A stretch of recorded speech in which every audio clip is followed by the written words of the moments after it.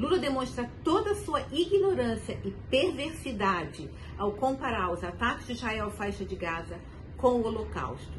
O Holocausto foi uma das piores tragédias da humanidade. Há um aumento significativo de perseguições a judeus e ataques antissemitas.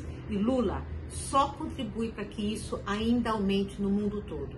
Lula tem que ser punido e parado com essas falas antissemitas.